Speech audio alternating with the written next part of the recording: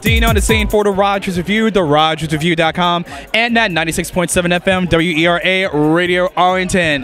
Back again with Shore Leave 39, and we have the wonderful, talented Marc Bendavid with us. How are you doing today? Hey, I'm good. How are you? I am doing well. I mean, you've been here all weekend at Shore Leave 39. How has it been so far?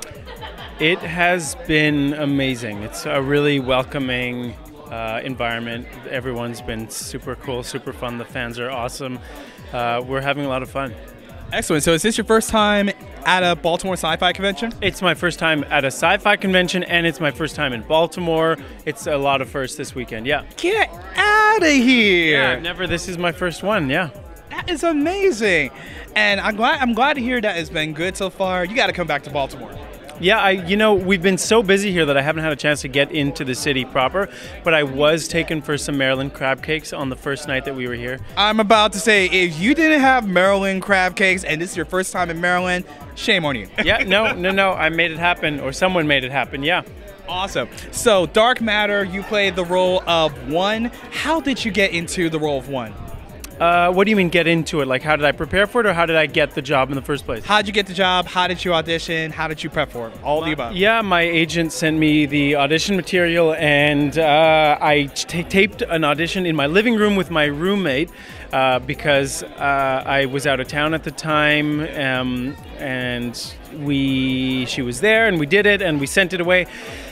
And I didn't hear anything for a few weeks, so I just assumed it wasn't happening. And then all of a sudden, I got a call from from my agent saying that the producers wanted to meet me, and and then I did a call back and and got it after that. What has been the most exciting thing about the role so far?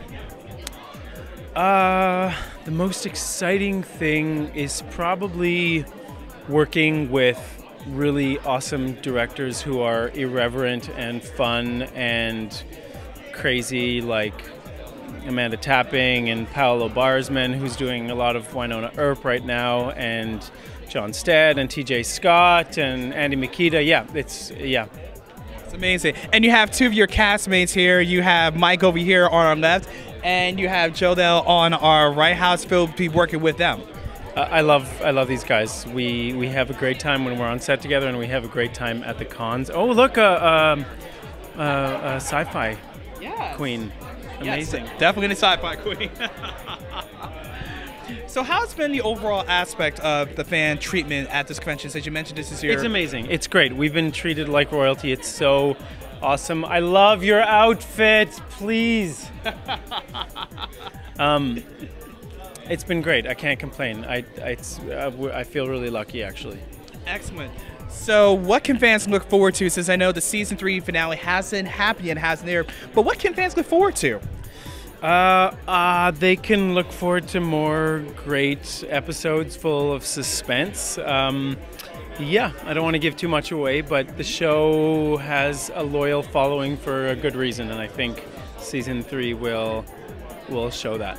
Wonderful. So, were you a fan of sci-fi before taking on a sci-fi role? You know what? I, I had I'd seen a bunch of episodes of Star Trek and I'd seen all the Star Wars movies and loved them, but I wasn't really embedded in the sci-fi scene as much as some of my co-stars. So it was exciting to get to know that stuff because it, it was a lot of it was new to me. Like I'd never been on a show with you know any kind of like warp drive or FTL or you know ships and yeah, stuff. Or yeah, phasers, or photon Yeah. torpedoes, or lightsabers. yeah, yeah, yeah.